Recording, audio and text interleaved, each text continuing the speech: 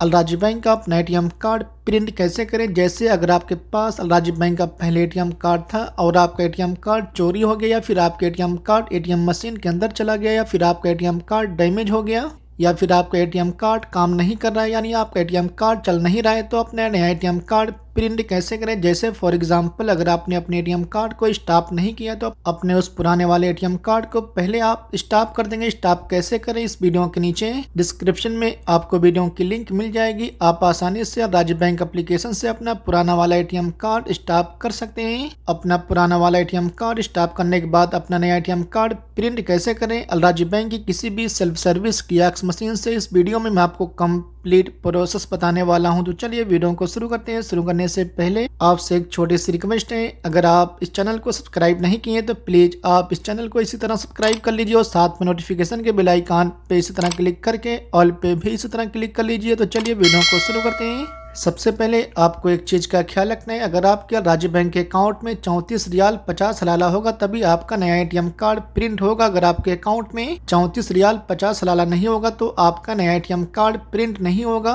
इसके बाद अपना नया एटीएम कार्ड प्रिंट करने के लिए आप किसी भी अलराजी बैंक की सेल्फ सर्विस कियाक्स मशीन पर आएँगे। इसके बाद आप यहाँ पर क्लिक कर देंगे इसी तरह। इसके बाद नीचे प्रिंट अलराजी मदा कार्ड के ऊपर क्लिक कर देंगे। इसके बाद अपना इकामा नंबर आप इंटर कर देंगे।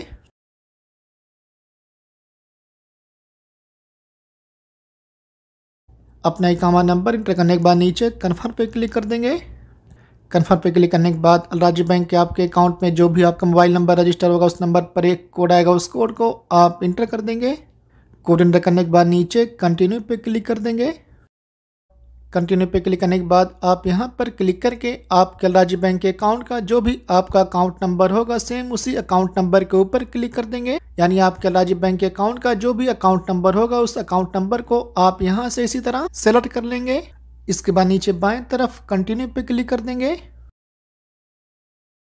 कंटिन्यू पे क्लिक करने के बाद आपके सामने इस तरह का इंटरफेस ओपन हो जाएगा। यहाँ पर आपको आपका चार किस्म का नाम मिल जाएगा। अब आप इन चार नाम में से आप अपने एटीएम कार्ड पर जो भी नाम रखना चाहते हैं, उस नाम के ऊपर क्लिक कर देंगे। आपको यहाँ पर एक चीज़ का ख्याल रखना है। जिस नाम के ऊपर आप क्लिक करेंगे, वही आपके एटीएम कार्ड पर लिख कर आएगा।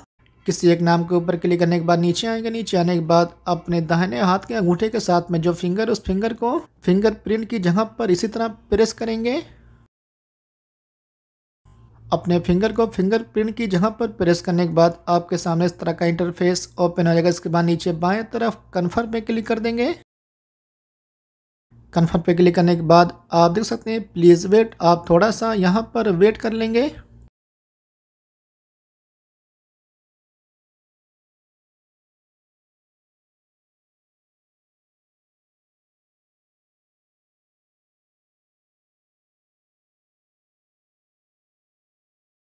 थोड़ा सा वेट करने के बाद ये परसेंटेज जब चालू हो जाएगा, यानी आपका एटीएम कार्ड प्रिंट हो रहा है, आप यहाँ पर भी थोड़ा सा वेट कर लेंगे।